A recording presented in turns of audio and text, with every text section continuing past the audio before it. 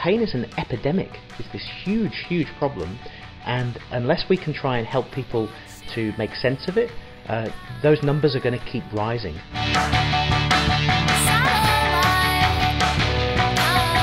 Know Pain is a, a, course, it's a CPD course for all healthcare professionals, and it's about trying to help people make sense of complex pain uh, and the distress that pain brings.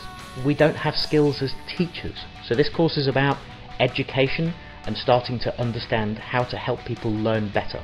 It, it is difficult, it's very challenging, but it can be done. We can develop communication skills to help us, to equip us to, uh, to do this stuff better. We need to help them make sense and understand and take control. People in pain want to have control. Pain is challenging, um, but it can also be, and it should be fun, it should be creative, uh, and I think a lot of the work that we do on the course is, is trying to allow people to be innovative and creative and not just stick to the same recipe that maybe they've used for a long time. Whenever I run courses, I, I always ask people, what's your wish? What's the thing that you want to get from this course? So there was a, a couple here which, uh, which I think are very interesting. So this is about what we were talking about before, understanding experience. That's a really important thing helping people to learn through the experiences that they've had. And there was another one that, that was interesting.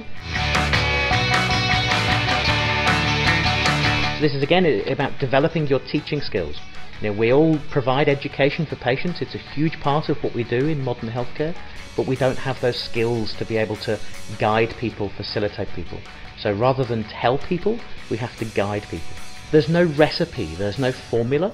Everyone needs a tailored individual solution, uh, but there are certain key things as an educator that we can try.